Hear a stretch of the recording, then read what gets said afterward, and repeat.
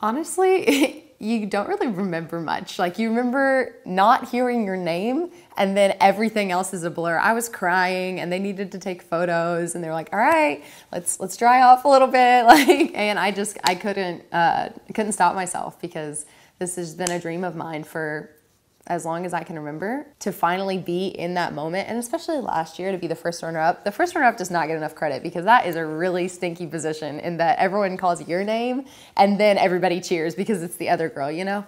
So it was really surreal to be standing there in that moment and to have everything, the culmination of all my hard work, just kind of explode like confetti.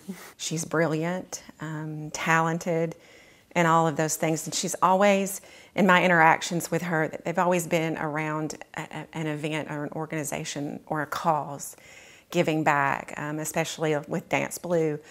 Um, her heart is just a servant's heart.